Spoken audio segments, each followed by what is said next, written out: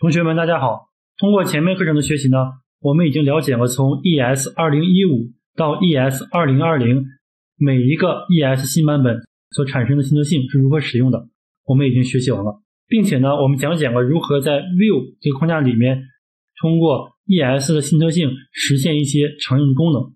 那这节课呢，我们来学习如何通过 Webpack 去构建我们的环境。为什么要学习如何通过 Webpack 去构建环境呢？大家看一张图，这个图呢是前面的课程当中我们给大家讲过的一张图。因为我们说过，其实 ES 这些新的版本特性啊，它是不能够直接的被浏览器所识别的。但是 ES 五这个版本，它的语法呢是能够被浏览器所直接识别的。所以说，我们这些 ES 的新特性想要很好在浏览器上直接能够运行的话，我们需要通过一个工具。把这些新特性转化成 ES 五的语法，然后呢，再把 ES 五的语法放在浏览器里面运行，这样不就可以了吗？所以我们需要通过 Babel 这个工具去把我们的 ES 的新语法转化成浏览器能够识别的 ES 五的语法。然后 Babel 的配置其实基于 Webpack 这个构建工具进行配置的。我们本门课程呢，也给大家提供了一个开箱即用的这样一个完整的 ES 配置的环境。那这个环境到底是如何配置的？就是这一章呢，我们需要去学习的内容。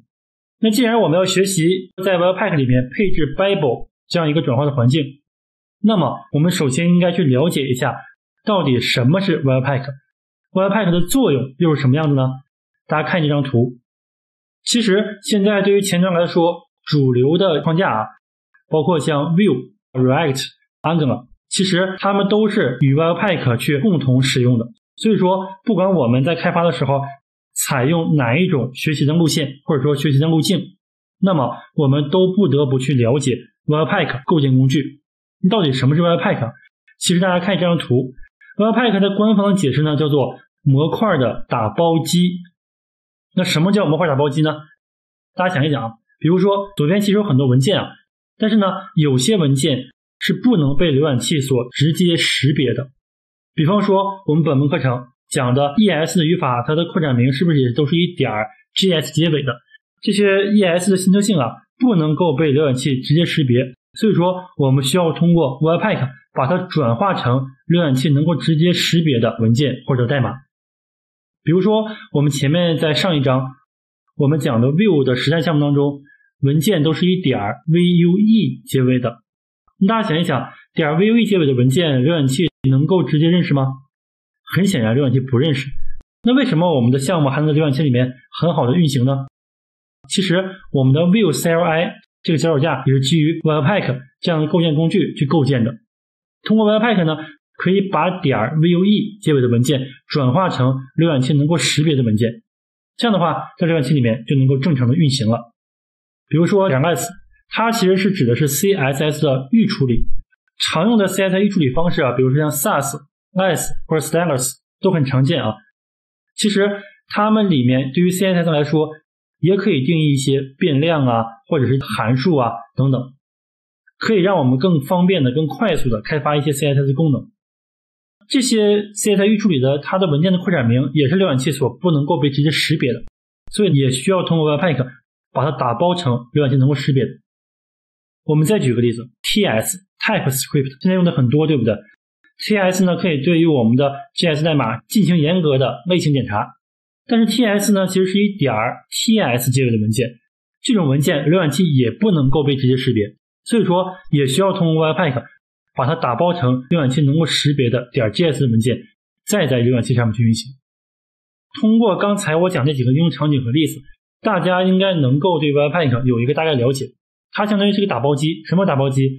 把浏览器不认识的文件转化成能够被浏览器识别的文件，这个其实就是它的主要的作用。当然，Webpack 的强大之处啊，不仅在于此啊。比如说，它还可以对我们文件要打包上线以后，对于文件呢进行一些压缩呀、合并啊，或者一些混淆啊、缓存啊等等，通过 Webpack 都可以很好的完成。并且呢，我们还需要理解两个概念，叫做。开发环境和生产环境，什么开发环境？比如说我们学的点 Vue 文件、ES 新特性，或者说这种点 S CSS 处理的文件，他们这些文件是不是都是在我们开发的时候要使用的文件？因为这些文件呢，在我们开发的时候，对于我们的开发呢是可以提高很多效率，或者说很方便的开发我们的项目。但是这些文件并不能被浏览器所直接识别呀。那当我们项目真正到上线的时候，它是不是要从开发环境打包编译成对应的一个生产环境？生产环境指的就是我们上线以后的那个环境啊。所以说，其实 Webpack 是不是把我们的项目从我们的开发环境打包编译成一个生产环境这样一个过程？这个呢，是我们一定要理解的。那我们了解了 Webpack 的一个作用之后，接下来呢，我们一起学习一下 Webpack 当中的一些核心概念。首先，第一个叫做入口，叫做安全。什么叫入口呢？它其实指的就是 Webpack 应该使用哪个模块。大家注意，在 Webpack 里面，每一个部分我们都叫做模块啊，因为它叫做模块打包机嘛。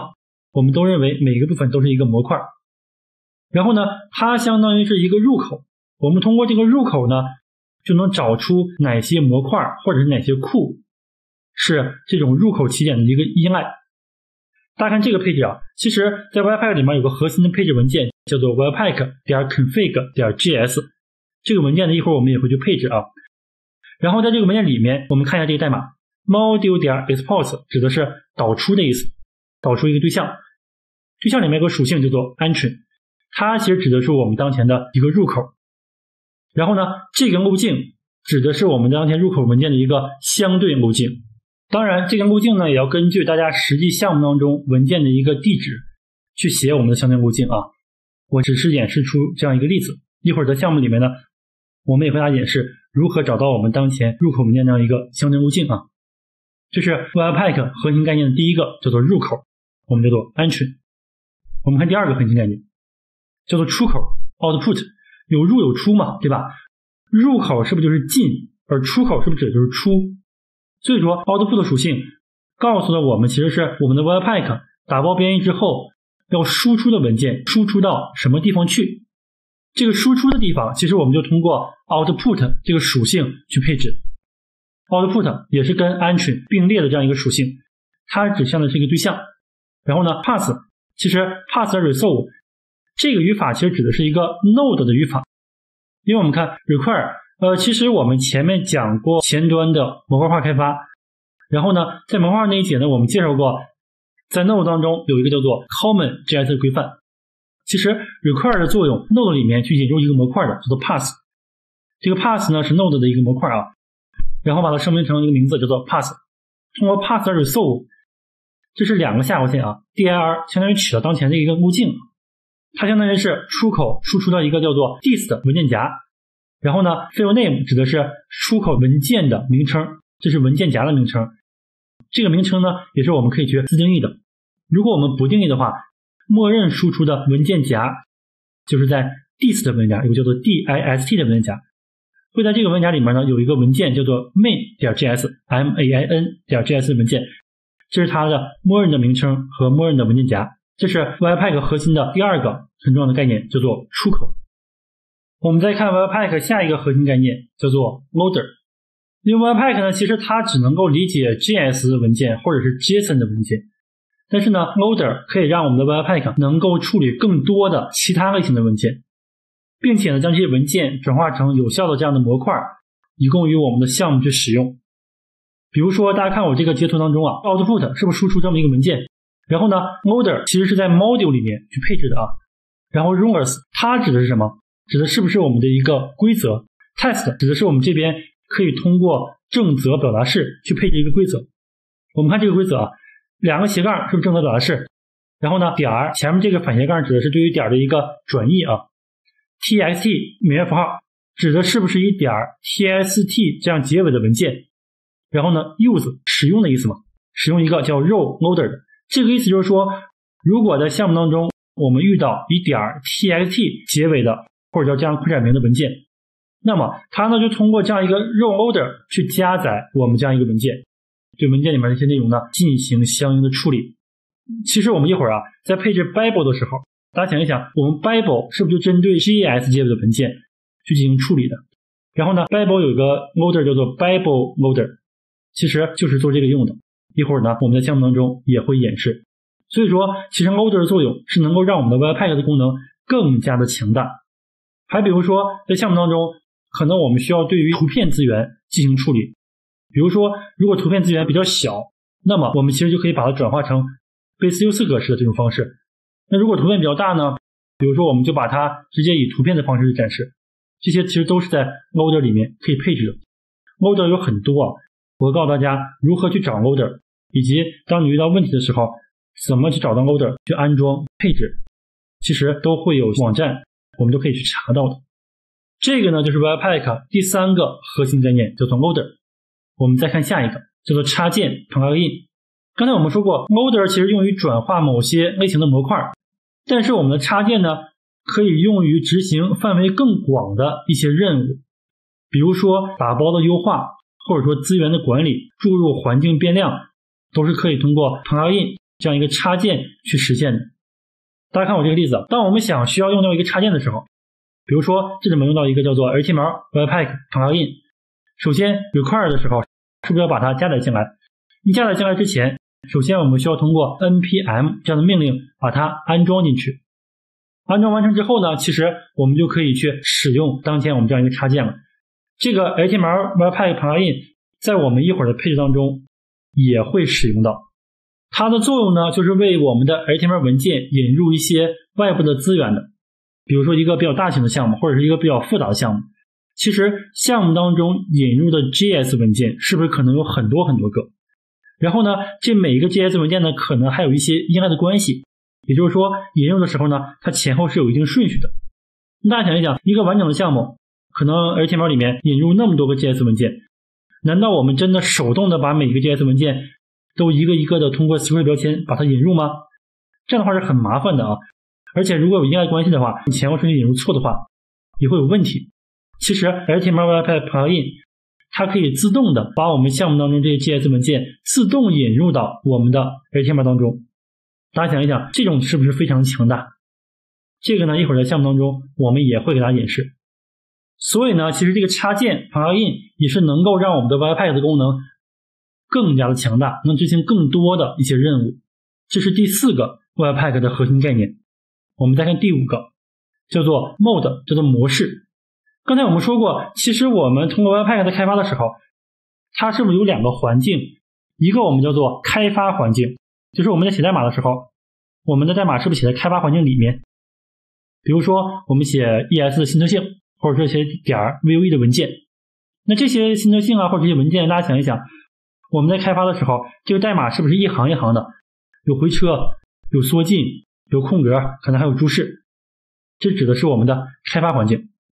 那生产环境呢？当项目我们要真正打包上线的时候，那我们的文件空格呀、回车呀。或者代码的缩进啊，还有用吗？